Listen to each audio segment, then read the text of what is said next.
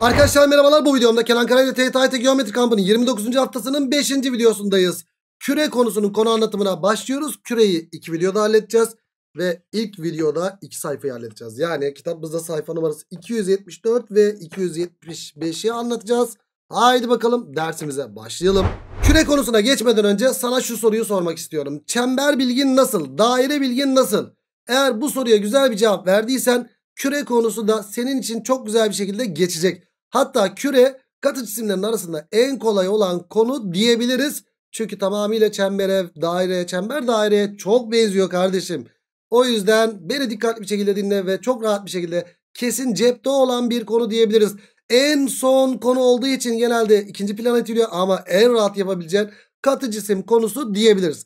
Çemberin tanımı ne, ne demiştik? Düzlemde sabit bir noktaya eşit uzaktaki noktaların kümesiydi. Şimdi kürenin tanımı ne? Uzayda sabit bir noktaya eşit uzaktaki noktaların geometrik yerine biz küre adını veriyoruz. Uzayda boşlukta işte bir noktaya eşit uzaktaki noktalar şöyle bir küre oluşturuyor bize. Evet sabit noktaya kürenin merkezi yarıçapı da işte o eşit uzaklığa da yarıçap adını veriyoruz.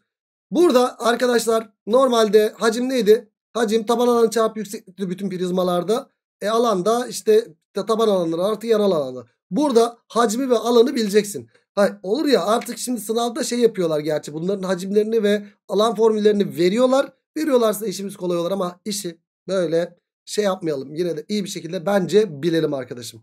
Şimdi hacmi bil. 4 bölü 3 pi küp. Bunu bil. Yani nereden geldiğini falan gösteremeyeceğim üniversitelik bir bilgi.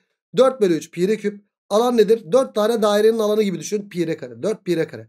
Ya da şunun türevini aldığın zaman bak 4 bölü 3 pi küpün türevini aldığın zaman 4 pi kare geliyor. Haberin olsun. Böylelikle hacimi bildikten sonra alanında türevi diye böyle aklında kalabilir. Hani türev integrali öğrendiniz ya. 4 bölü 3 pi küpün türevi 4 pi kare yapıyor. Bölü 3, şuradaki 3 ile alt bölü 3 gidiyor çünkü.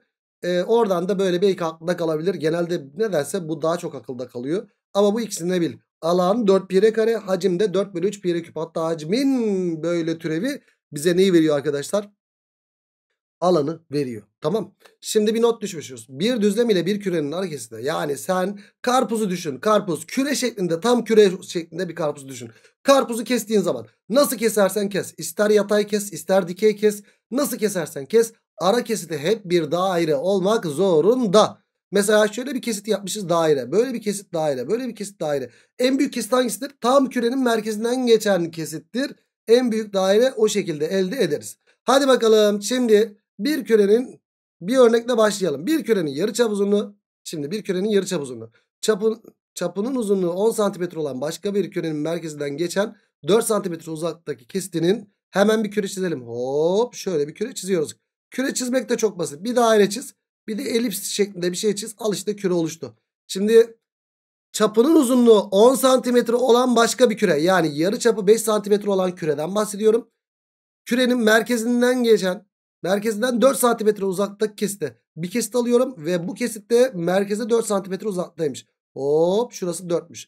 Aslında şunun çapını düşünecek olursak arkadaşlar şöyle çember bilgisi bildiğin zaman soruları rahat bir şekilde yapabileceğini söylemiştik. Aslında ne oldu burada? Merkez var, kiriş var, çeyrek dik oldu. Çünkü bu tam böyle yarıçap yarıçap ya. Bunlar iki eş parçaya ayırıyorsa eğer o zaman ne oldu arkadaşım?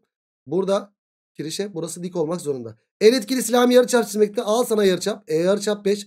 4 5 ne üçgeni? 3 4 5 üçgeni. Burası da 3, burası da 3 çıktı. Şimdi bana diyor ki işte 4 cm uzaklık kesitinin çap uzunluğuna eşit olan bu kesitin çapı kaç yaptı? 6. Yeni küremizin yarı çapı neymiş arkadaşlar? 6'ymış. Çünkü bu kesitin çapı bu kürenin yarı çapına eşitmiş. 6 eşitmiş. Kürenin hacmi nedir diye soruluyor. 4 bölü 3 pi r küp. Yani 4 bölü 3 pi 6. 6 ve 6'nın çarpımı. Sadeleştir şöyle bakalım. 2 yaptı. 36, 72, 72 çarpı 4 de 288 mi yapıyor? 288 pi diye buluruz cevabı. Örnek 1'i 288 pi bulduk. Geldik örnek 2'ye. Yandaki şekilde çapı 26 santimetre yani yarı çapı 13 olan bir kürenin merkezinden 5 santimetre uzaklıkta. Evet merkezinden 5 santimetre uzaklıkta. Merkezimiz burasıysa merkezinden 5 santimetre uzakta. Hop merkezden kirişe dik çizdim. Burası 5. Hocam en etkili silahım yarıçap. Al sana yarıçap. E, çemberdeki bilgileri bildiğiniz bilgileri burada da uyguluyorsunuz. Kürede de en etkili silahın yarıçap. O zaman 5 13 ne üçgeni? 5 12 13 üçgeninden burası 12 mi çıktı? Evet. Şimdi AB çaplı kesiti verilmiştir. Buna göre diyor ABC üçgenin ağırlık merkezi ile kürenin merkezi arasındaki uzaklık nedir diye soruluyor. Bak burası 12. Hocam burası da 12. Tam bu merkeze denk geldi ya. Şuradaki kesitte bir daire ya. Yarıçap yarıçap. Hatta burada bu çapı görüyor arkadaşım. Çapı gören çevre açı nedir? 90 derecedir. E ben ağırlık merkezini bulmaya çalışacağım. Ağırlık merkezi kenar ortay doğrusu üzerindedir. Hocam hop şöyle çizince ağırlık merkezi burada yapacak. Ağırlık merkezinden geçen kenar ortay eşit eşitken burası da eşit olacak. Muhteşem üçten burası da 12 oldu mu? Oldu. Hatta 1'e 2 oran olacak ya. 3'e böl kısa parçayı bul. Yani burası 4 burası 8 mi yaptı? Aynen öyle. Şimdi bana diyor ki buradakinin ağırlık merkezi ile kürenin merkezi arasındaki uzaklık isteniyor. Hop şu uzunluk isteniyor. Arkadaş bu alttaki düzleme dik olduğu için burası da 90 derece değil midir? Evet. Yani burası 4 burası 5 ve burada bir dik üçgen var. Buraya da x diyelim. X'in karesi eşittir 4'ün karesi artı 5'in karesi. Yani 16 artı 25 yani 41 yapar. E o zaman x'de böylelikle kaç buluruz? Kök 41 olarak buluruz. Cevap kök 41 çıkar. Zor bir soru mu? Kesinlikle değil. Temel dikliği de biliyoruz. Burası 90 derece. Ağırlık merkezi de demiş. Ağırlık merkezi e 90 derecede varsa hem 90 derece hem de ağırlık merkezi olduğunda muhteşem üçlü çizeceğimizi biliyorduk. Tabi öncelikle burada çapı gören çevre açı 90 derecede fark etmemiz lazımdı. Sorular böyle acayipmiş gibi gelir ama çözümleri gerçekten çok kolay. Alışacak, alışacaksın. Hiç merak etme. Geldik buraya. O merkezli yarım küre şeklindeki bir kap içerisinde 9 santimetre yüksekliğinde su vardır. Bu kabı içindeki su dökülmeyecek şekilde nasıl çevirirsen çevir herhangi bir şekilde şu yükseklik değişir mi? Değişmez. Zemin bak burada şöyle düşünelim. E hocam burada büyük ihtimalle ne yapacağız? Öncelikle şurada bir kesit oluşuyor. Bu kesitin böyle şeyini düşünelim çapını düşünelim. Hocam burada merkez teğet çektik yapsak bu tam böyle bunun merkezine gelecek şekilde çizdiğimiz zaman 90 derece oluyordu ya. E bu da merkez teğet çektikten 90 derece. Bu doğrusal olmak zorunda. Başka ne yapabiliriz burada? Bize 9 vermiş. Buradaki mesafe hala da 9 mu? Evet 9. Şu mesafenin 9 olduğunu unutmayalım. Peki başka ne yapacağız? Bize diyor ki bunu bu şekilde yatırdığımda ne oluyormuş? Kabın zemine en uzak noktasının zemine olan uzaklığı 25 santimetre verilmiş. Arkadaş burada ben şunu şöyle çizersem. O çapı gören çevre açı 90 derece oldu burada. Çember muamelesi yapın diye hep söylüyoruz değil mi arkadaşlar? Evet çember muamelesi. Çünkü sen bunu böyle yaptığın zaman yarım kap ya böyle tam kap yaptığında aslında bir çember olmuş oluyor bu kürede. Çapı gören çevre açı oldu. Burası 90 derece. E bunun devamı da zemine suyla zemin paralel olduğu için 90 olacak. Ve bana buradaki uzunluğu kaç vermişti? 25 vermişti. E hocam şurası 9 ya dikdörtgenden burası da 9. Burası kaç yapar? 16 yapar.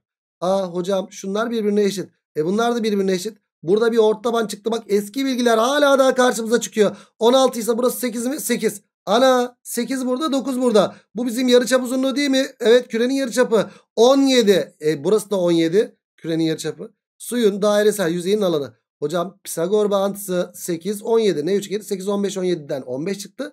Yani şuradaki kesitin yarıçapını su yüzeyindeki yarıçapı 15 bulduk. Bizden ne isteniyor? Bu dairesel yüzeyin alanı isteniyor. Yarıçap bulduk ya. Pi r kare yani 225 pi olarak buluruz cevabı. Örnek 3 225 pi çıktı. Geldik örnek 4'e. Küre şeklinde bir tahta yontularak bir ayrıtın uzunluğu 2 kök 3 olan bir küp elde ediliyor. Hmm. Arkadaşlar bir küre şeklinde bir tahta var. Şöyle bunu yontacağım. Ne elde edeceğim? Bir şöyle bir küp elde edeceğim. Hadi bakalım küpü oluşturalım şöyle. Hocam elimizde şöyle bir küp var. Peki ben küreyi yonttuğumda bunu elde edeceğim. Küreyi şöyle seçebilirim. Çok büyük. Çok büyük bir küreyi böyle yonttuğum zaman hatta daha büyük şu şekilde de bu şekildeki küreyi de ben ne yapabilirim? Yonttuğumda şunu elde edebilirim. Ama bana diyor ki buna göre yontulmadan önce kürenin yüzeyi en az kaç olacak? O zaman bu küre yüzeyinde olsa daha hoş olmaz mı? Yani küreyi olabildiğince küçük almam lazım. Böyle bir küre de olur böyle bir küre de olur. Bu kürenin nereden geçmesi lazım o zaman? Tam bu köşeden. Hop küremizin aynı zamanda tam şu şekilde olması lazım. Yani kürenin köşelerinin e, pardon küpün köşelerinin nereye değmesi lazım arkadaşlar? Kürenin yüzeyine değmesi lazım. Bu da kürenin yüzeyine. Bu da bu da bu da bu da kürenin yüzeyine değiyor mu? Değiyor. Aa bu şekilde çizdiğimiz zaman yani ben bu küreyi yonttuğum zaman bir kübü elde edeceğim ya. Şuna bakacak olursak arkadaşlar burada hop şu nedir? Bu cisim köşegeni. Neyin cisim köşegeni? Küpün cisim köşegeni. Aynı zamanda bu da kürenin çapı olmak zorunda değil mi? Evet. Yontulmadan önce kürenin yüzeyin en az olabilmesi için küreyi bu şekilde seçmem lazım. Şu noktalara değmesi lazım. O zaman şuraya baktığım zaman kürenin çapı küpün neyse oluyor cisim köşegeni oluyor. Evet bir ayrıtın uzunluğu 2 kök 3. Arkadaş burası 2 kök 3 ya. Bu cisim köşegeni ne yapıyor? 2 kök 3'ün kök 3 katı yapar. Hani A A A kök 3 yapıyor değil mi? Yani burası A iken burası A kök 3 cisim köşegeniydi. O zaman kök 3 katı 6 yaptı. Kök 3 katı 6 yaptıysa yarıçapı kaç yaptı arkadaşım? 3 mi yaptı? Evet. 3 birim burası 3 birim burası yaptı. Kürenin yüzey alanı isteniliyor bizden. Evet burayı ben 3 bulduysam artık yüzey alanı basit. Çünkü yarıçapı buldum. Kürenin yarıçapının en az 3 olması lazım. O zaman yüzey alanında 4 tane pi r kare yani 36 pi yapar mı? Yapar. Evet örnek 4'te güzel bir soru. Bak aklınızda bulunsun. Bir küreyi yontup bir küp yapacaksam kürenin cisim köşegeni küpün de pardon küpün cisim köşegeni kürenin nesi yapıyor arkadaşlar? Çapı yapıyor. Peki tam tersi sorulmuş olsaydı yani ben kür, küp şeklinde ay küpler küreler karıştı ya. Küp şeklindeki bir şeyi yontup küre yapsaydım o zaman bizim küpümüzde pardon küremizde ne olmak zorunda? Şuradaki yüzeylere bütün yüzeyleri teğet olacak şekilde seçerdik. Merkez teğet çektik merkez teğet çektik burası R burası R yani o zaman tam tersi olduğunda da bu durumu ayrı bir şekilde inceledik arkadaşlar. O zaman küpün bir kenarı 2R olursa o zaman en küçük küpü elde etmiş oluruz arkadaşlar. Ters durumu da bu oluyor tamam mı? Evet örnek 4 36 pi oldu geldik örnek 5'e. Hmm. Yukarıdaki şekilde D doğrusu ile O merkezli kürenin A ve B noktalarında kesimi verilmiştir. Evet şöyle bir böyle bir top var. Bir topu toplu ileri deldik gibi düşün şöyle. Kürenin yarıçap uzunluğu 6 ve burası da 6 kök gibi olmuş. Arkadaşlar bizim yaptığımız en etkili silah neydi? Yarıçap. Al sana yarıçap. Al sana yarıçap. Çizdik yarıçapı. Hocam burası yarıçap. Burası yarıçap çizince burası 6 6 yaptı. A 6 6 6 kök 2 ikizkenar dik üçgen. Yani burası 90 derece oldu mu? Oldu. Peki bunu deldiğimde böyle geçti ya. A ve B noktasını belirledik ya. A'dan B'ye gitmek isteyen bir karınca en az ne kadar yol gider diye soruluyor. Hocam en az yolu verilmiş zaten değil. Ben bunu deldim ya. Burada kürenin içinden geçti aslında. Bu küre yüzeyinden gitmesi için ne olması lazım? Şöyle bir dairesel hareket etmesi gerekmiyor mu? Oval bir şekilde hareket etmesi gerekiyor. E o zaman burada kürenin merkezi buyken aslında ne oldu? 90'lık bir yay olmadı mı arkadaşlar burada? Evet yarı çapı 6 bak çok güzel bir soru sınavda çıkabilir. Yarı çapı 6 olan bir yay uzunluğu soruluyor bize. A'dan B'ye gitmek isteyen bir karınca diyebiliriz. Evet karınca hep zaten. Karınca böyle küre yüzeyinden gideceği için oval gitmek zorunda. Yani bir yay gidecek. O yayın da merkez açısı 90 derece oldu. Yani 90'lık bir yay 2 pi r 90 bölü 360 olacaktır o zaman cevabımız. Yani şunlar şunlar sadeleşti. 4 12 pi bölü 4'ten cevabı 3 pi olarak buluruz. Çok güzel bir soru. Buna dikkat et. Sınavda çıkarsa şaşırma. Örnek 5'i bu şekilde bulduk. Geldik örnek 6'ya. Şekil 1'de bir kürenin bu arada nereden çıkıyor? Çember bilgisi de çıkmıyor mu? Genelde çember bilgisini kullanmıyor muyuz? Evet. Çember bilgisini kullanıyoruz. Hadi bakalım örnek 6'ya bakalım. Şekil 1'de bir kürenin zemine paralel olacak şekilde kesilmiş hali gösterilmiştir. Böyle zemine paralel olacak şekilde kesmişiz. Kesit yüzeyinin çapı 4 kök 3. Evet hemen kesit yüzeyinin çapını gösterelim şöyle 4 kök 3 olarak. Yani yarı çapı ne oldu o zaman arkadaşlar? 2 kök 3 2 kök 3 şeklinde oldu. Ve kesit yüzeyinin zemine olan uzaklığı da verilmiş. Arkadaşlar bu merkez teğet çektik yapalım. Tam burası da doğrusal olmak zorunda. Burayı da kaç vermişler bana? 6 olarak vermişler. Çemberdeki en etkili silahım yarıçaptı. Al sana yarıçap. Hocam burası yarıçap. Burası yarıçap. E burası da 6 eksi r değil mi? Evet. Ben burada bir Pisagor bağıntısı yapalım bilirim. R kare eşittir 6 eksi R'nin karesi artı 2 kök 3'ün karesi deyip işlem işlem işlemle R'yi bulurum. Ama dur dur dur. Şimdi bana diyor ki kesilen küre ok yönünde izlediği yol doğrusal olacak şekilde AB çaplı kesit yüzeyi zemin üzerinde kalıncaya kadar yuvarlandığında ben bunu böyle yuvarladım ve en son yuvarlandığında bu yüzey burada kalmış ve kaymadan durmuş. Yani ne olacak o zaman arkadaşlar? Ben bunu kaydırdığım zaman hop burası Buraya kadar mı gelecek? Evet. Sen mi, e, senin eleman böyle gelecek buraya kadar gelecek. Sonra da devrilecek. Bu buraya gel, gel, gelmiş olacak.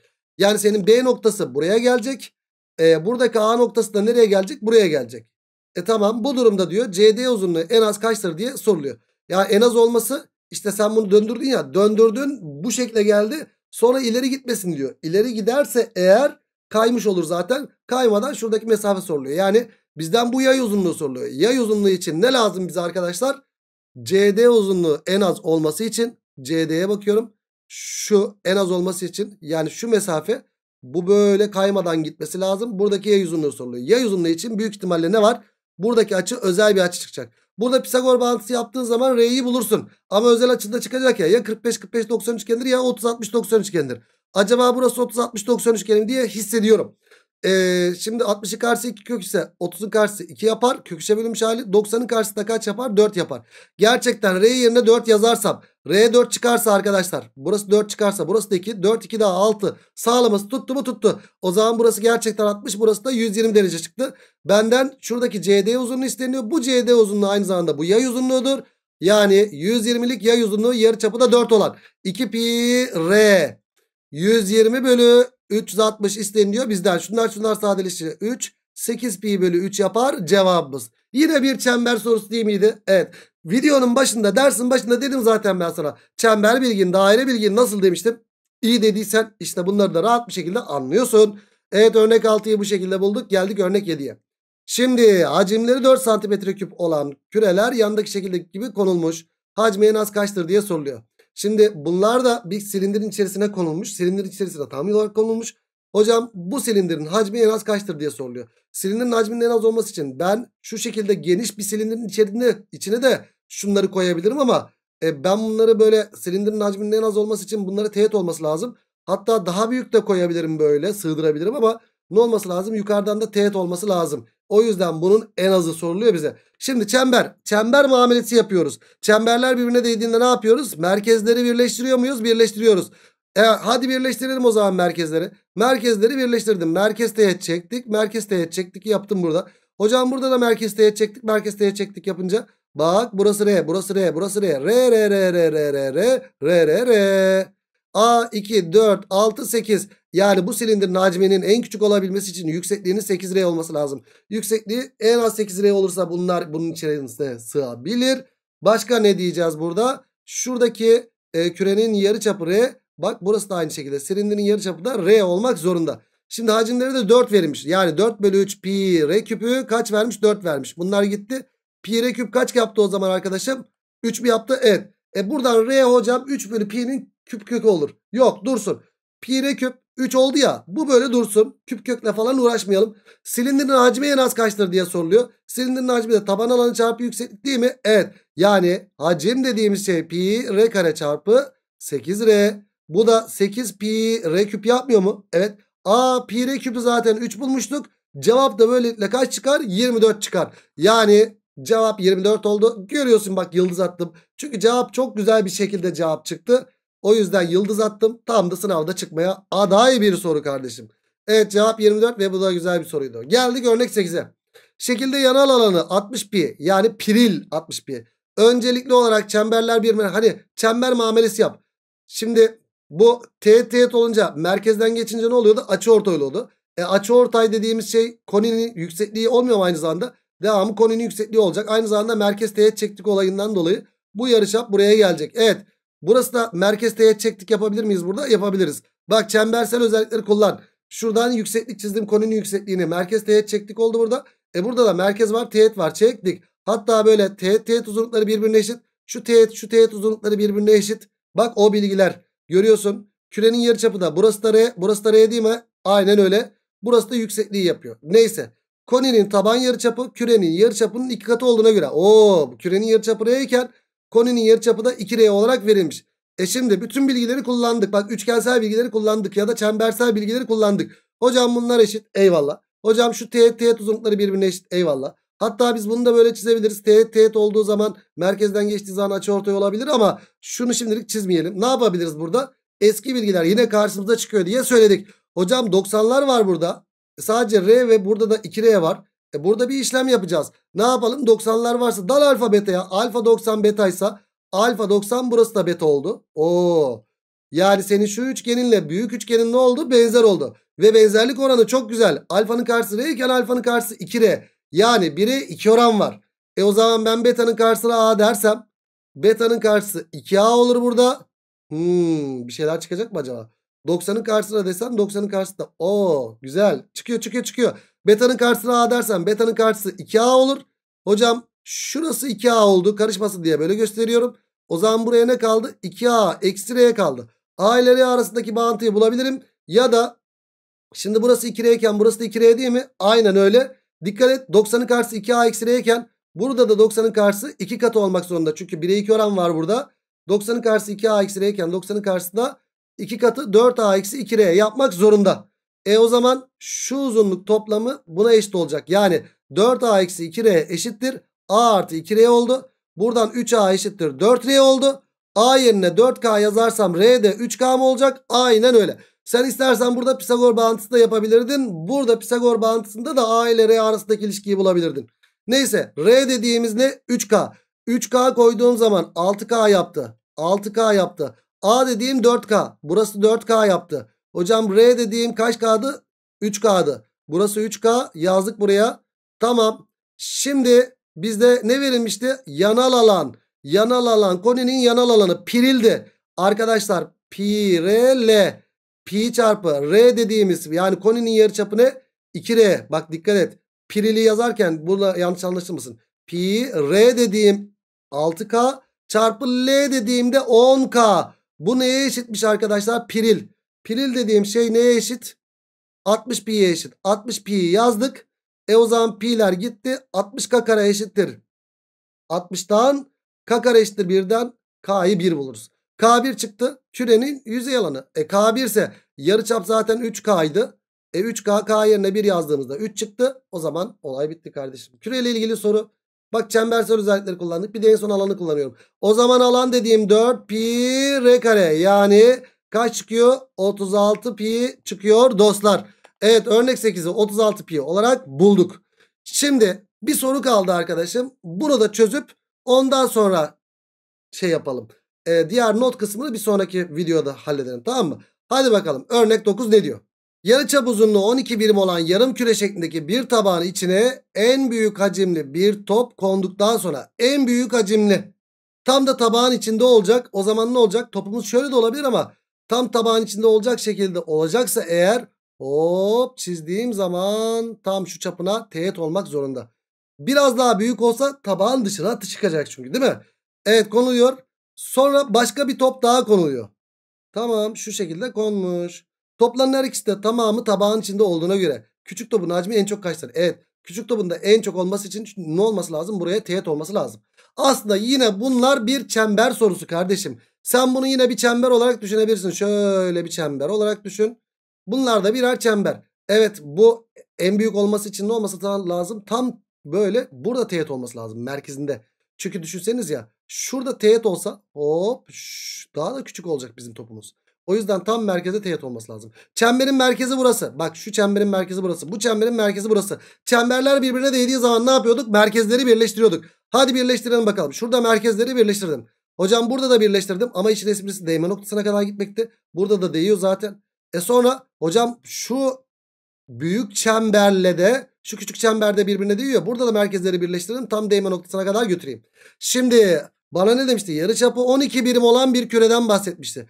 Hocam bu da yarıçap bu da yarıçap ya. 12 ise o zaman bu büyüğün yarıçapı 6'ya 6 mı oldu? Evet. Şimdi bu, bu buradaki bilgileri kullanalım arkadaşlar. Hadi bakalım nasıl kullanacağız? Şu küçüğün yarıçapına şöyle bir R desem. Hocam burası da R. Burası ne oldu? 6 eksi R oldu. Tamamı. Yo burası 6 zaten. Tamam.